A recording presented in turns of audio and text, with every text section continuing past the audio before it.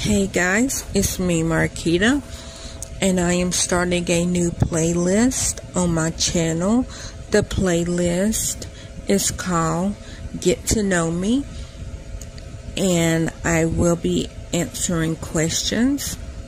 But I also would like to get to know y'all, so leave your questions and answer in the description below so that we can get to know each other.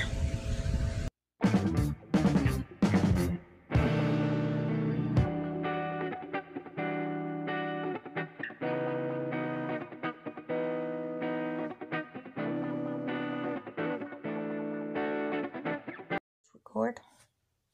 Hey everybody, it's me Marquita and Gary is sitting right here beside me and today's bonus, bonus, bonus um, question.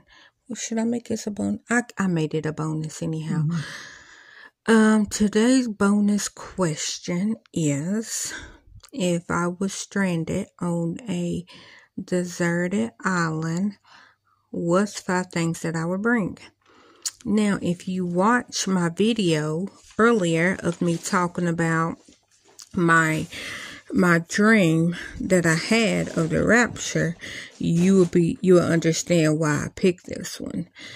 Um the five things I would bring on my deserted island was um see I'm bougie and I wish they had glamping in a box. And I said this in my other video too. But glamp glamping in a box because I need a comfortable bed. I need food. But like if I had five separate things that I had to bring, my first thing that I think about is food. So I would need, even if I'm on this um, deserted island for two months, I need at least six months worth of food. And that's just for me.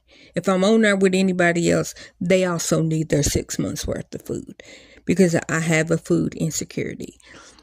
The second thing that I would want is I want that life straw so that I can drink the ocean water. Um, the third thing that I would have is I need a tent.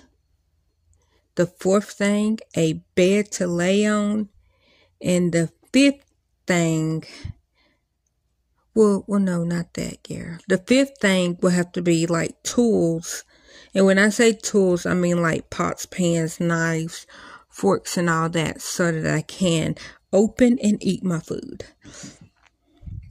I think that's going to be my five things that I have. Um, well, okay, Gary, the with the bed that automatically comes with a sleeping bag. So, because Gary was pointing at my weighted blankets, I would need my weighted blankets, but when I say bed, I mean if I got a sleeping bag, one of them below zero sleeping bags, I need that in case it's cold, but I also need something that um that I can just sleep on top of that's very soft so that I have something for my head. I have like comfort and cover. So when I say a bed, that's like pillow covers and all that. Um, I need food. And so food, comfort, shelter. And then thanks to and I need um the tools in the in tools so that I can open my food so that I can eat my food so I can warm it up and all that. I need that. What about y'all? Y'all leave that in the comment down below because I would really like to know.